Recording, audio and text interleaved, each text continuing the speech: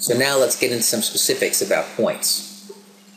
Large intestine 1, Shangyang, metal yang. This is the Jingwell point. It is the metal point on the metal channel, and that makes it what we call the horary point. Yes. Horary points are the point that is the same element as the channel it's on. So on the large intestine channel, it is large intestine 1, which is the metal point on the metal channel. On the spleen channel, spleen 3, which is the earth point on the earth channel. Uh, lung 8 is the horary point on the lung channel, metal point on the metal channel. So this point that is the same element or part of the same elemental phase as the channel it lies on is called the horary point. Large intestine 1, Shangyang, is on the radial side of the index finger, one tenth of a sun from the corner of the nail. Its function its fun- resolves the exterior and abates heat. So there we start to see some of the heat clearing that's associated with Yang Ming. Clear the lung and disinhibit the throat, right? Because of its relationship, internally external relationship with the lung. The channel connects with the lung and obviously passes through the throat courses and discharges yang ming pathogenic heat. So pathogenic heat in yang ming results in thirst, sweating, fever, headache. This will help uh, discharge that corset, get it to move out. And it opens the portals and revives the spirit. You will find that uh, that is a common function of the Jing Well points. Remember, we call them 911 points, right? They they open the portals, they revive consciousness. Indications for large intestine 1, Shangyang, toothache, sore throat, swelling of the submandibular region, that should be uh, U L A R, I apologize for the typo there, submandibular region, the area under the mandible, numbness of the fingers, febrile disease without sweating and hydrosis.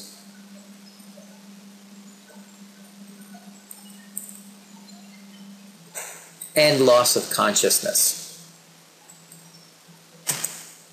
Large intestine 4, Hegu.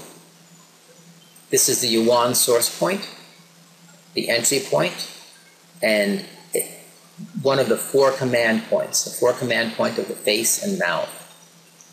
This is a huge point. You will use it often. It's used in acupressure, acupuncture.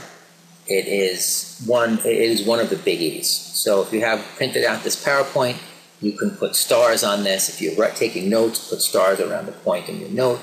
This is a this is a big, big point.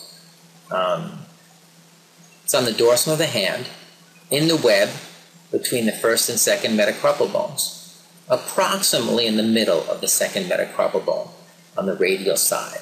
So let's just advance to a slide that has a picture here. There we go. Yes. Okay, so here, right? Here's the first metacarpal and the second. The point is here in the web between approximately at the level of the middle of the first metacarpal. Second metacarpal, I apologize. Okay. It frees the channels and quickens the connecting vessels. It courses wind and resolves the exterior, clears heat and discharges lung heat. Again, we see a heat function. Frees gastrointestinal downbearing. Right? I was saying this is a big point. This is one of the few points that's going to have an effect on the intestines themselves. Relieves gas pain and quiets the spirit.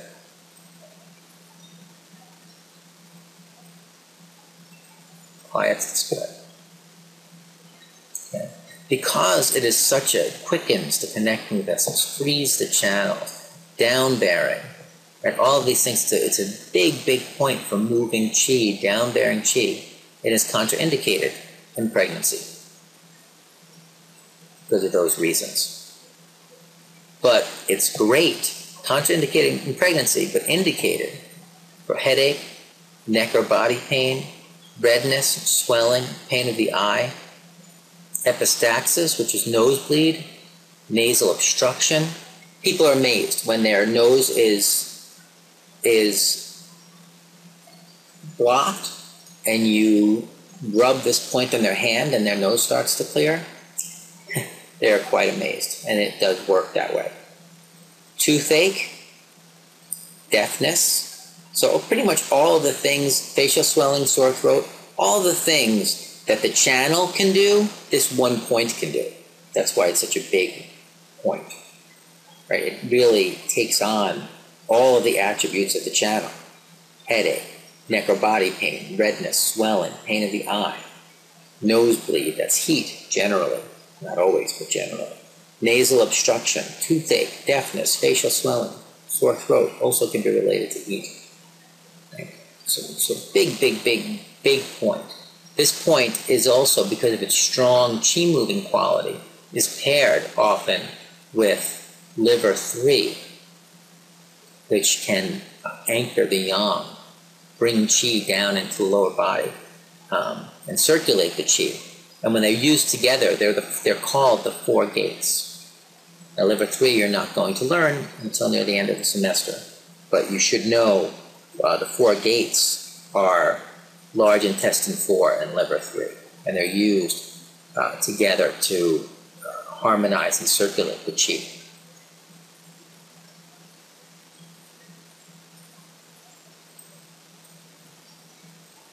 Also, because of where the channel runs, right, we see um, here neck or body pain, right? Because of where the channel runs, difficulty turning the neck you know, rotation of the neck can be related to uh, to hand Yang Ming, to the large intestine channel. Large intestine 5, Yang Xi, Yang stream. This is the Jing River point, fire point.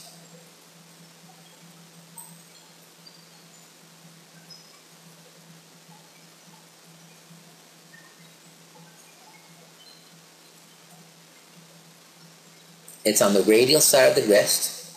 When the thumb is tilted upwards, like you're giving someone the thumbs up sign, it's in a depression between the tendons of the muscles extensor pollicis longus and brevis. Right? So, extensor pollicis longus, extensor pollicis brevis. Right? This is also known as the anatomical snuff box. Right? So the channel comes down this way yeah, runs very close because remember lung seven broken sequence, the acute comes off to the to the styloid process of the radius, right?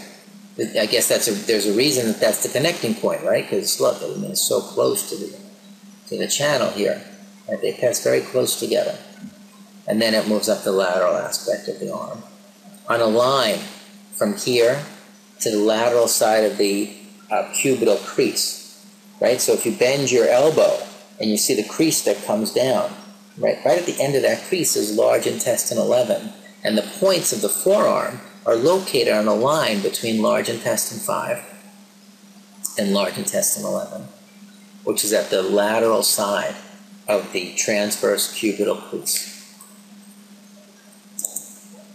Okay, but large intestine 5 is on the radial side of the wrist when the thumb is tilted upwards, it is in the depression between the tendons of the muscles, extensor pollicis longus and extensor pollicis brevis.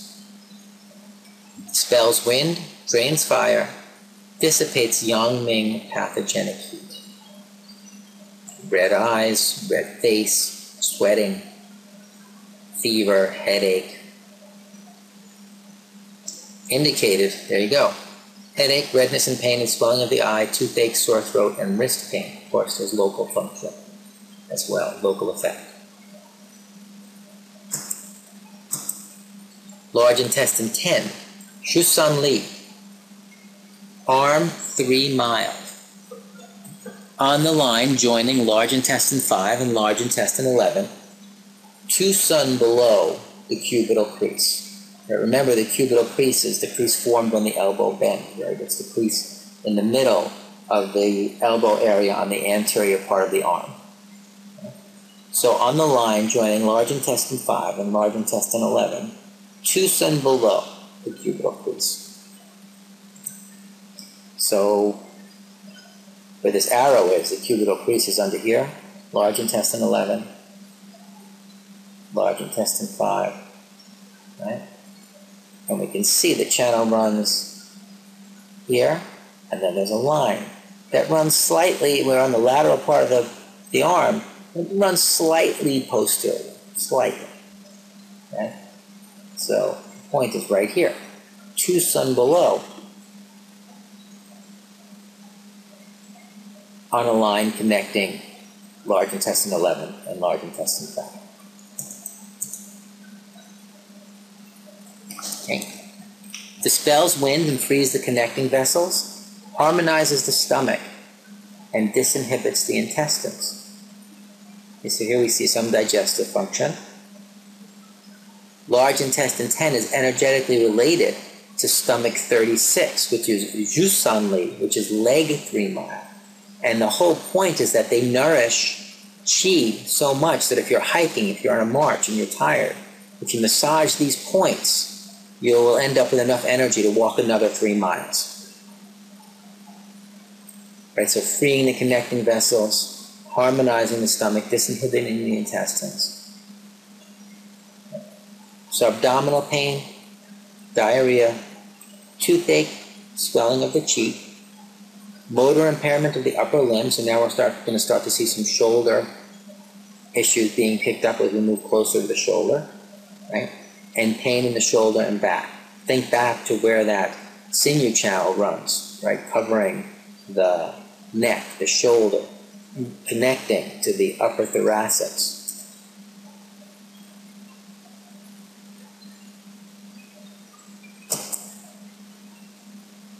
Picture once again.